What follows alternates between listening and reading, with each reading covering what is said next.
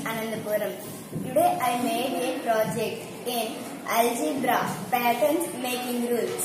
I take and two alphabets L and T. The, the, the rules of making L is equal to 2y. If we make 1 L is equal to 2 into 1 is equal to 2 matchsticks. If we make 2 L's is equal to 2 into 2 is equal to 4 matchsticks. If we make 3 L's is equal to 2 into 3 is equal to 6 matchsticks. L is equal to y times is equal to 2 into y is equal to 2y. Number of matchsticks required is equal to 2 into number of L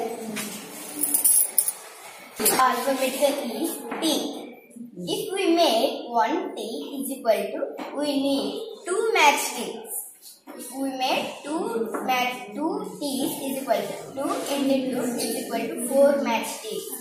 If we make 3 T's is equal to 2 into 3 is equal to 6 matchsticks. The rule of 2 is equal to 2 into R is equal to 2R.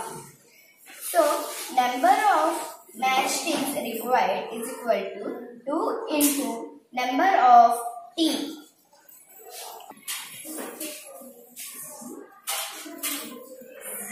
My name is G. G.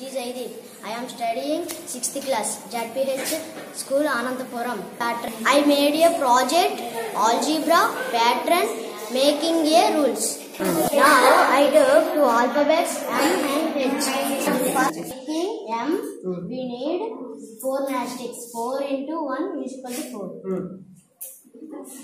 For, for making two M's, we need 8, 8 matchsticks. 4 into 2 is equal to 8.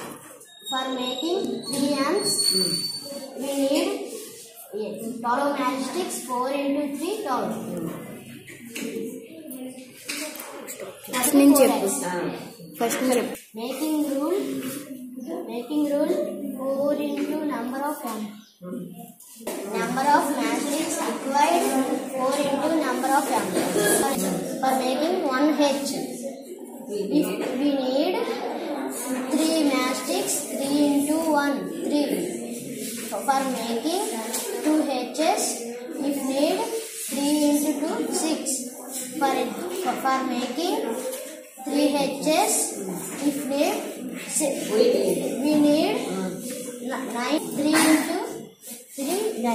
Y, H y times e- 3 into y is equal to 3y.